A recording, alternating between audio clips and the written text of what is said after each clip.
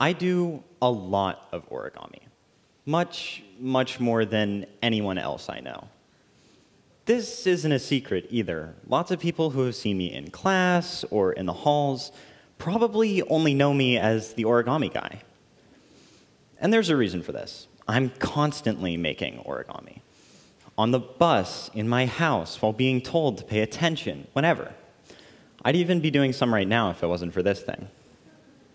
This borderline obsession with paper folding has resulted in the creation of over 2,000 pieces last school year, with my handiwork being scattered throughout many classes, halls, and even my own home. However, I wasn't born folding a paper crane. In fact, origami is a fairly recent obsession of mine.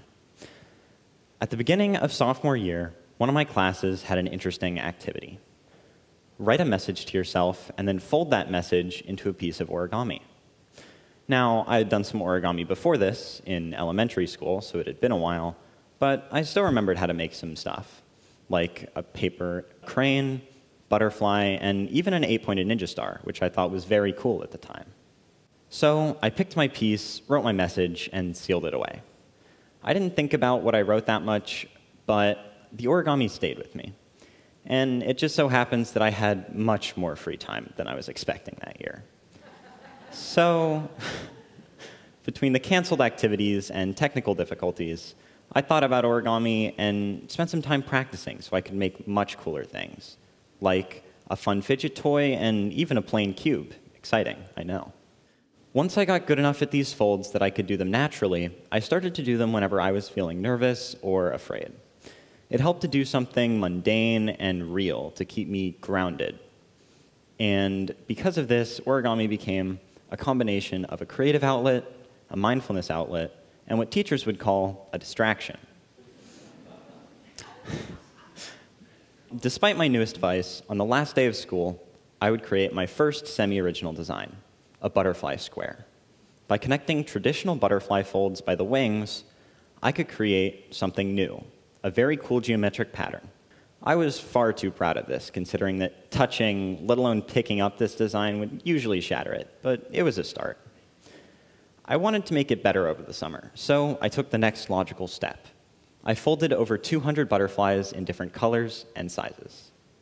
This gave me a lot of folding practice, sure, but it also gave me a lot of material to work with to perfect my design. I quickly found out that just by adding a couple more sides, I could make it way sturdier. The only question was, how many should I add? It was easy to see I couldn't have 20, but what about 6 or 7?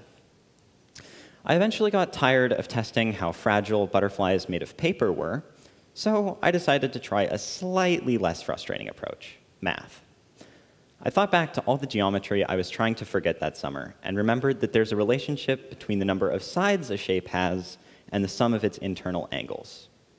So, using this law, some algebra, and any other brain power I was somehow able to muster up during summer, I created an equation using the angles on a single butterfly model, solved for x, and found that hexagons would be the best shape for butterfly circles. And I've made them that way ever since.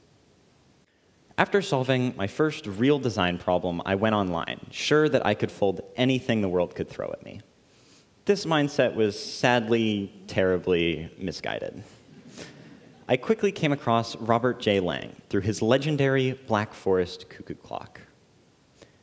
The first time I saw this piece, I was amazed. This was a single piece of origami made of a single rectangular piece of paper.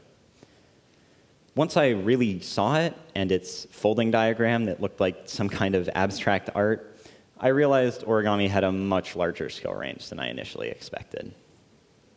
I did some research on Lang, its creator, expecting to find somebody who had dozens of years of painting, sculpting, or even composing before taking up origami. But what I found was something very different. Lang had almost 50 patents and was a very STEM-centered person with an incredible affinity for math, physics, and computer science. He had created this clock diagram in 1987 using a revolutionary new strategy for origami, applying mathematical techniques. Lang, along with other origami pioneers, created a set of rules that all origami had to follow, kind of like the laws of physics. Then they applied one of the most important things in math use other people's work, preferably people who had been dead for hundreds of years. By using ancient folds from models such as the crane and butterfly, Lang could create pieces like the clock relatively easily. Of course, relatively easily is still involved literal decades of math and art, but for a 200 plus step project, it makes sense. So after finding all this out, including its incredible step count, since I didn't have a spare week, I decided to look for a slightly tamer fold. And I found one, Opus 379, the Scorpion. Now, I started to fold this model from its crease pattern, but it was so weird with points that seemingly came out of nowhere, sometimes even requiring a coordinate system to fold correctly. I even compared it to other high-level Scorpion models after giving up, because of course, um, and saw that where other Scorpions had lots of tiny pleats, this one had massive folds that went across the paper at arbitrary angles no sane person could come up with. So I did some research and figured out the reason. It wasn't made by a sane person. It was made by TreeMaker, a program that can turn stick figures into origami. Now, I've seen computers write poems, finish symphonies, and even paint, but the fact that a computer could create art in a form as abstract as origami is, is incredible to me. Of course, TreeMaker, much like Opus 379, was not made by a normal person. Robert J. Lang coded TreeMaker 4.0 in 1998 on a computer that probably had less RAM than a floppy disk, and it actually worked. His secret was not using pre-made folds or the semi-algorithms used in the clock or even a fully functional AI. All it took was a little bit of artistry, a little bit of programming, and a whole lot of math. By combining these things in just the right ways and with some of his own added brilliance, Lang was able to create an incredible step forward in origami, computer-generated models. Now, at this point, it might seem weird to even call high-level origami an art form. With computer-generated models, algorithms, and mathematical axioms for folding, it starts to seem like a really weird form of math. But origami is still very much an art form, despite this. For example, although TreeMaker can create incredible bases, to go from a base to a finished product is something that requires a lot more work than Lang shows it to be. It's something that requires many hours of forethought and creativity, but also many hours of incredibly technical work, even for Lang. This is because a base is essentially just flaps of paper in the right places, like the building blocks for an actual model. However, another thing that shows just how ingrained art is in origami is that the vast majority of folds, from 10-step birds to 300-step krakens, are all made by humans for humans. And even though it might seem like origamists will someday run out of ideas, or at least good ones, with folds like Shuki Kato's Zonoid Dragon, Satoshi Kamiya's Ryujin, and my very own tent on a windy day, it's obvious that amazing folds are still being created all the time. The best part is that if you want to fold mid or high level origami, you don't have to understand C++ or graph theory or calculus, which is good because I don't at all. All you have to know is origami. So even if you don't have a decade of experience, a PhD in topology, and a month to kill, there's still an incredible amount of folds at all levels, from short ones like Baggy's box to longer ones like Elias Nash's human base, and complexity beyond that with Chen Xiao's Black Knight. And with all this choice, it's easy to choose what you like best.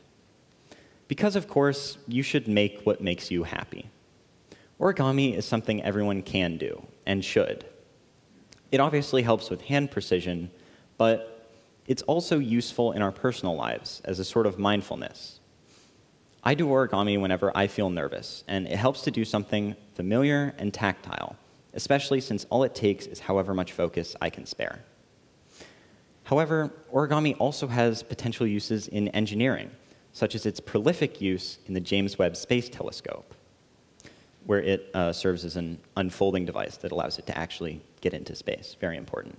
Whether you're working on a 1,000 fold project or just making butterflies as a mindfulness exercise, origami can help us think more dynamically makes it just a little bit easier to navigate life's endless folds.